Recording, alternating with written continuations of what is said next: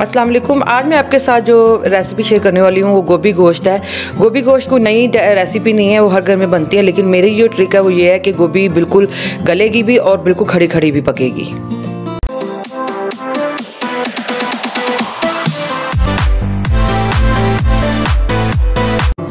उसके लिए मैंने एक मीडियम प्याज, मीडियम टमाटर चार से पाँच मिर्चें और दो लेमन लिए। लेमन अगर बड़े साइज़ का तो एक ले लेनी तो दो है।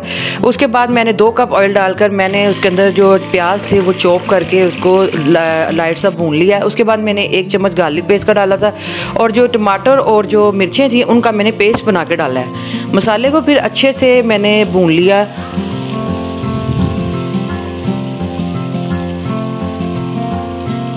इसको अच्छे से भूनने के बाद इसमें मैंने स्पाइसेस ऐड कर दिए। स्पाइसेस मैंने ऊपर मेंशन कर दिए हैं। स्पाइसेस डालने के बाद इनको भी अच्छे तरीके से साथ भून लेना है। मसाले को थोड़ा थोड़ा पानी करके अच्छे से मैंने थोड़ी देर पाँच दस मिनट के लिए भूनना है।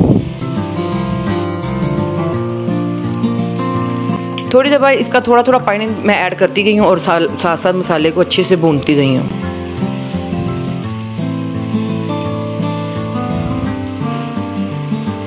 ये देखिए मसाला जो मेरी इस टाइप की ग्रेवी जो है वो इस कदर प्यारी और जमी पक चुकी है। उसके बाद मैंने इसके अंदर तीन पाव गोश्त डाला था चिकन का और उसको मैंने भी अच्छे से उसको भी भून लिया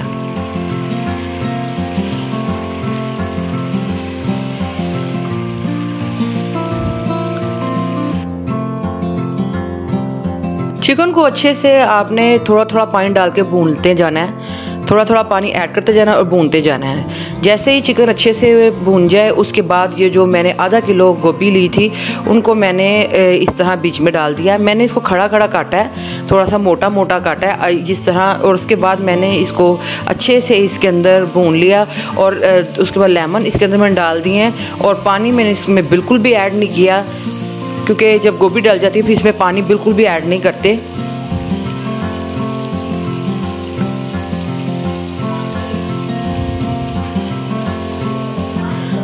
उसके बाद अच्छे से मैंने इनको भूनने के बाद मैंने इसको दम की आग पर रख दिया। पाँच, दस मिनट दस मिनट के बाद मैंने इसको जब दम को उतारा है तो आप ये देखें इस तरह से कि बिल्कुल जो गोभी है मेरी बिल्कुल खड़ी खड़ी पकी है। और ये नहीं है कि वो खड़ी पकी है और वो गली नहीं है, वो हाथ ये देखें मैं हाथ की मदद से आपको चेक करके भी दिखाती हूँ कि ये देखें, ये गली भी बहुत अच्छे से है, लेकिन ये खड़ी खड़ी भी पकी है।